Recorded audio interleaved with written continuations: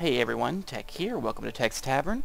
Grab a brew, pull up a chair, and let's continue our Let's Play on Crusader Kings 2, Croatia.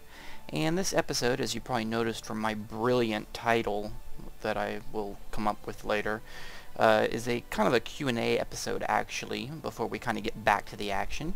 I also figured I would kind of show the actual terrain view here of our Croatia and its rolling hills and wide valleys and etc. A beautiful country we have created here, as long as we can hold on to it. Um, but yeah, I'm going to do a little bit of a Q&A episode here real quick. Um, and I will also, at the end of the Q&A here, I'll um, kind of go around the map, show some of the events on the map, uh, and discuss some of the things I'm looking at in the upcoming episode, um, which should be following within a day of this one whenever you see this. Um, but a couple of questions um, I did want to cover, um, and I'll try to put the people's names up on the screen here because I'll probably butcher the pronunciations on all of them. Um, but Padrino DK, he had asked, this is a great, uh, this is great, keep up the good work, could you go um, can you do a Q&A and perhaps pro tips as well? Well, heck yeah, here's the Q&A. Um, as far as pro tips, I don't know if I'm 100% qualified to give the greatest pro tips ever. However, if you've watched all 62, I think, episodes now of this series, um, one thing some of you have probably noticed that I work on a lot while I'm playing Crusader Kings is trying to keep my vassals happy and in the green. Um, you know, I try to control not getting into too many conflicts at once so that you don't end up getting sandwiched because you have tense relations on two different fronts. So that's why you've kind of noticed on this game I've kind of focused on one enemy at, at a time.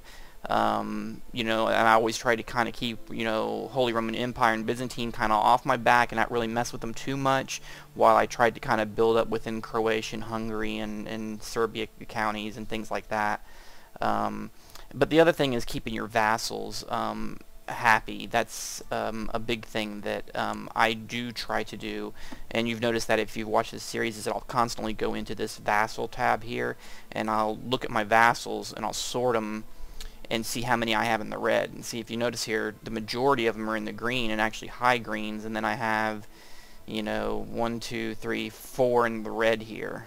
And then I try to work on trying to get them you know, at least in low red or out of the red. And, you know, you're losing out on income, too, because of uh, vassals in the red. And, and to me, with this being kind of a character-driven strategy game to a certain degree, is how I like to put it, um, keeping your vassals happy is probably one of the key things of the game because there's so many related um, mechanisms within the game.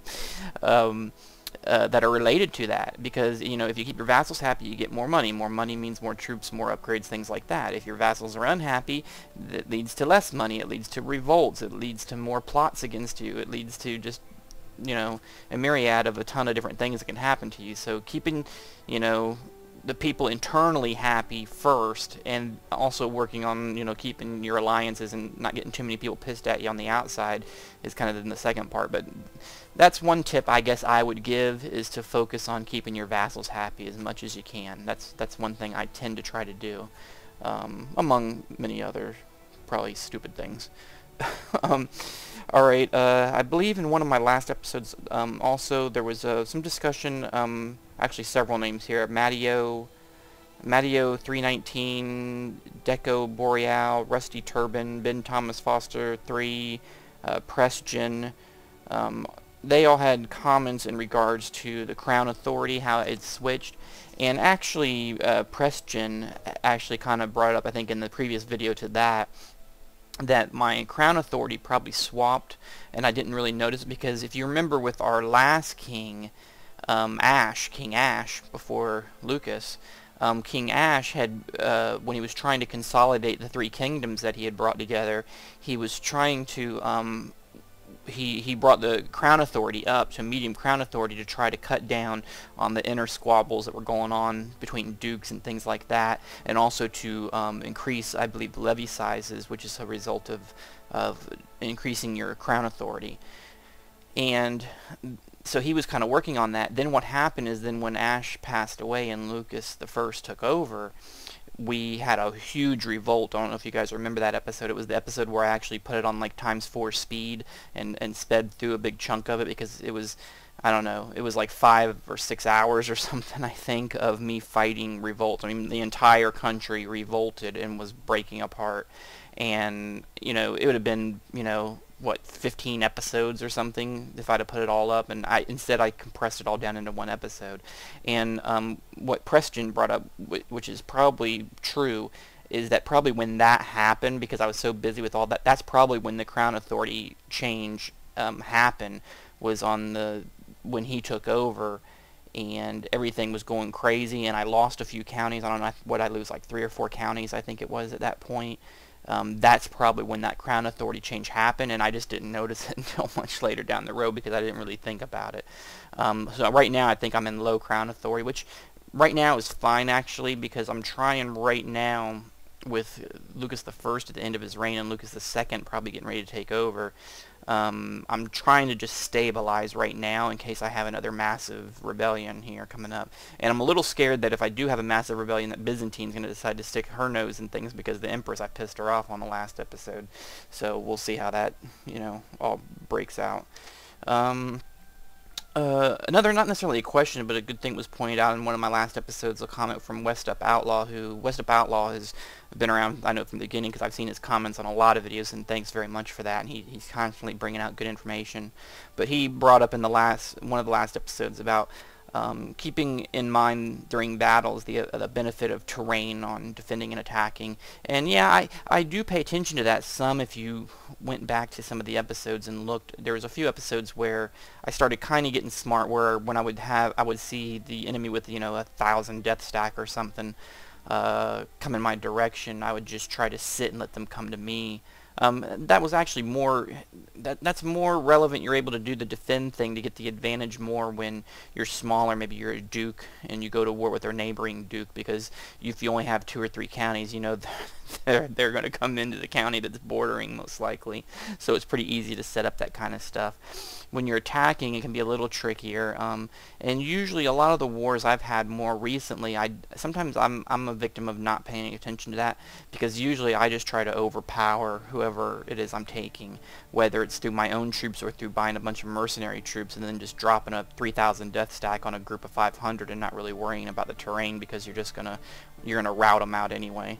But um, it is it is an important thing to pay attention to, especially early on. If you're starting a new game as like a Duke who only has like two or three counties, kind of like the Croatia, how Dimitar starts there in Croatia. If you play that scenario, um, that the, paying attention to the terrain can be very important, especially in those early battles. Um, um, or in bigger battles where the your the forces are pretty evenly matched, it could be the difference. I mean, it really could.